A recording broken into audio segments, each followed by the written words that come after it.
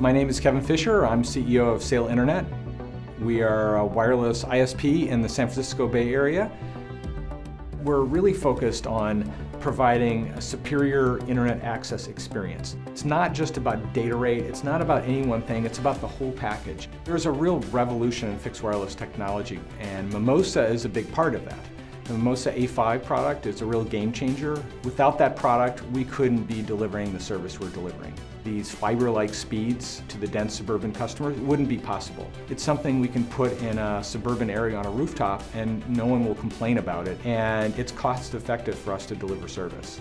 Every location is different. There are unique dynamics of every region and neighborhood where you would want your relay sites to be. And so it's really, it's a very local decision. Once we've identified a good site, we market to those customers and explain that we will provide them with subsidized internet access in exchange for uh, use of the roof.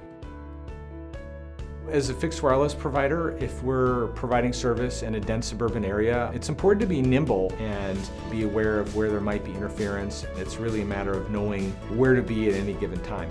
We use tools and automation to uh, improve the customer experience. We proactively analyze the customer's connection. It gives us great visibility into our network and we're able to analyze customer issues before they even know they have them.